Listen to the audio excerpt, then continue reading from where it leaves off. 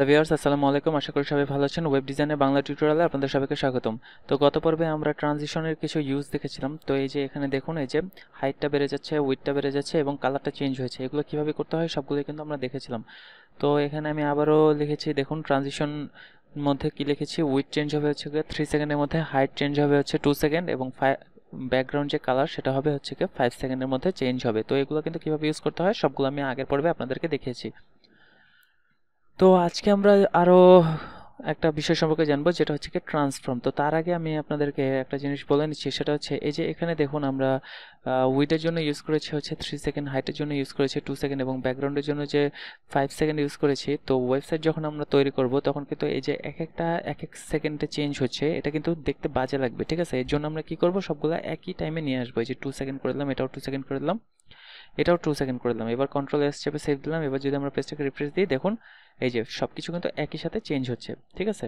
Two সেকেন্ডে সব two সেকেন্ডে চেঞ্জ হয়ে যাচ্ছে। আমরা যখন হোভার করব। তো এখন এই যে এগুলো সব, আমরা এই যে উইড হাইট তারপরে ব্যাকগ্রাউন্ড কালার লিখেছি আলাদা আলাদাভাবে, তো আপনাদের এই সব এগুলো আলাদাভাবে লেখার কোনো দরকার নেই। আমরা এগুলো কেটে দিচ্ছি, কেটে এখানে আমরা দিয়ে দিব হচ্ছে গিয়ে অল ঠিক আছে? অল হচ্ছে গিয়ে টু সেকেন্ড টু সেকেন্ডের মধ্যে এগুলো চেঞ্জ হবে সবগুলো। এই যে এখানে উইড হাইট ব্যাকগ্রাউন্ড কালার এগুলো সব চেঞ্জ হবে হচ্ছে টু সেকেন্ডের মধ্যে, ঠিক আছে? এখানে যদি আপনি অল দিয়ে দেন শুধুমাত্র এবং টু সেকেন্ড থ্রি সেকেন্ড যাই দেন, আপনি এটা আপনার উপরে, তো এখানে যদি আমরা অল দিয়ে এবার সেভ করি এবং আমরা যদি পেজটাকে রিফ্রেশ করি দেখব যে একই কাজ করতেছে। দেখুন, এই যে একই কাজ করতেছে কিন্তু, ঠিক আছে? তো এভাবে আপনারা অল দিয়ে ইউজ করতে পারেন। তো আজকে আমরা মেনলি যেটা শিখব সেটা হচ্ছে ট্রান্সফর্ম ট্রান্সফর্ম কীভাবে করতে হয়? ট্রান্সফর্মের জন্য আমরা যেটা করব সেটা হচ্ছে এই যে হোভার এই হোভারের এই যে এখানে ট্রানজিশন ইউজ করব আমরা এখানে, ঠিক আছে? আর ট্রান্সফর্ম ইউজ করব আমরা এখানে। তো ট্রান্সফর্মটা আমরা লিখি। সো ট্রান্সফর্মের মধ্যে আমরা কি করব? ধরুন আমরা এই যে এখানে যে ব্লকটা ইউজ করেছি, যে এই ব্লকটা যে ইউজ করেছি, এটাকে আমরা ধরুন রোটেট করব, ঠিক আছে? ট্রান্সফর্ম অনেক ধরনের করতে পারেন আপনি। আপনি এটাকে রোটেট করতে পারেন, আপনি এটাকে স্কিউ করতে পারেন, আপনি এটাকে স্কেল করতে পারেন। প্রচুর ওয়ে রয়েছে এটাকে ট্রান্সফর্ম করা, ঠিক আছে? অনলাইনে প্রচুর রিসোর্স পাবেন এগুলো দেখে নেওয়ার। তো আমরা তো বেসিক শিখব, তো আমি আপনাদেরকে জাস্ট দেখিয়ে দিচ্ছি যে কীভাবে এটা ইউজ করতে হয়। তো আপনি যদি এখানে রোটেট করতে চান rotate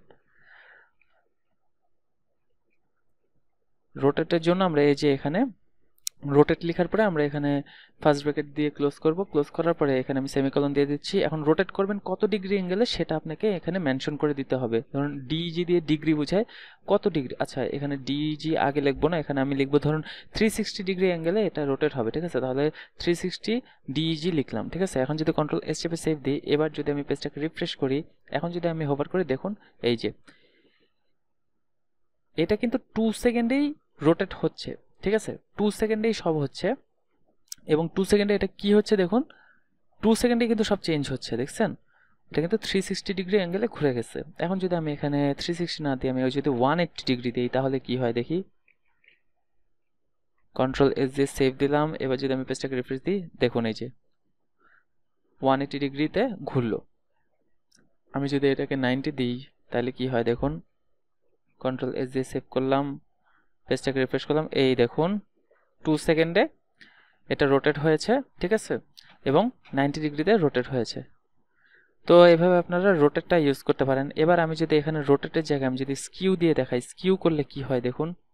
S K E W skew দিয়ে আপনি যদি এক্স অক্ষ বরাবর স্কিউ করতে চান এক্স অক্ষ বরাবর, তাহলে স্কিউ দিব হচ্ছে, ধরুন স্কিউটা আমি টেন দিয়ে দিচ্ছি। এবার যদি আমি কন্ট্রোল এস দিয়ে সেভ করি এবং পেজটাকে যদি আমি রিফ্রেশ করি, তাহলে কি হয় দেখুন? স্কিউটা হয়নি। কেন হয়নি? আচ্ছা একটু দেখি। আচ্ছা স্কিউতে আমি এখান থেকে একটু চেক করে নিই। ট্রান্সফর্ম স্কিউ সিএসএস ঠিক আছে? এভাবে আপনারা, এটা কিন্তু আপনারা জানেন যে এগুলো কীভাবে ইউজ করতে হয়। আমি কিন্তু আপনাদেরকে আগেই বলেছি। তো এখানে দেখুন, এই যে স্কিউ এর এটা রয়েছে, তো স্কিউটা কীভাবে ইউজ করতে হয় দেখি আমরা।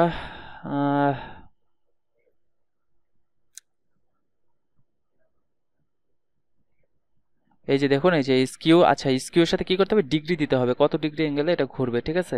তো এখানে আমি ডিগ্রিটা দেইনি। আসলে এগুলো কিন্তু কোনো কিছুই আপনার মুখস্থ করার দরকার নেই। যে আমি আমি জাস্ট আমি আপনাদেরকে দেখিয়ে দিচ্ছি যে কীভাবে করতে হয়। এবং আপনারা যখন প্র্যাকটিস করবেন, আপনারা যখন জানবেন যে এভাবে করা যায় ট্রান্সফর্মগুলো এভাবে করা যায়, তো এইভাবে গুগল করলে কিন্তু আপনি পেয়ে যাচ্ছেন যে এটা মানে কোডটা কি, তাই না? তো এখানে আমি কন্ট্রোল এস দিয়ে সেভ করলাম। এবার যদি আমি পেজটাকে রিফ্রেশ করে দেখব, এখন দেখব একটা চেঞ্জ এই দেখুন, এই যে স্কিউ হচ্ছে এক্স বরাবর স্কিউ হচ্ছে, ঠিক আছে?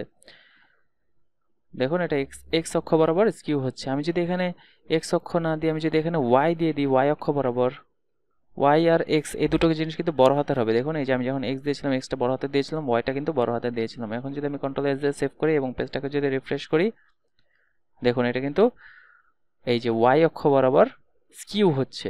ঠিক আছে? তো এইভাবে আপনি বিভিন্ন ধরনের ট্রান্সফর্ম ইউজ করতে পারবেন। আপনি এই যে এখানে ডাব্লিউ থ্রি স্কুলে গেলেই পাবেন এই যে ট্রান্সফর্ম এবং এখান থেকে কিন্তু আমি আপনি নিজেই ট্রাই করে দেখতে পারবেন। ধরুন এই যে এটা কি হচ্ছে দেখি, এই যে ট্রাই ইয়োর সেলফ এখানে কি হচ্ছে দেখুন এই যে এভাবে এটা রোটেট হচ্ছে, এটা ওরা আর কি দেখাচ্ছে যে কীভাবে রোটেট হচ্ছে, ঠিক আছে? তো এখান থেকে আপনি কোডগুলো দেখতে পারবেন যে কোনটা কি কাজ করতেছে। তো এত ডিটেলসে আমরা যাব না এখন। আমরা যখন এক্সপার্ট হয়ে যাব আস্তে আস্তে, তখন আমরা বুঝতে পারব যে এগুলো কীভাবে ইউজ করতে হয়। তো আপাতত আপনারা দেখুন যে রোটেটটা কীভাবে ইউজ করতে হয় এবং স্কিউটা কীভাবে ইউজ করতে হয়। ঠিক আছে? তো আশা করি বুঝতে পারতেছেন আপনারা যে এগুলো কীভাবে ইউজ করতে হয়। আশা করি বাসায় প্র্যাকটিস করবেন। তো আমার ভিডিওটি যদি ভালো লেগে থাকে, তাহলে অবশ্যই আমার চ্যানেলটি সাবস্ক্রাইব করবেন এবং আমার ভিডিওতে অবশ্যই লাইক বাটনে ক্লিক করবেন। ধন্যবাদ।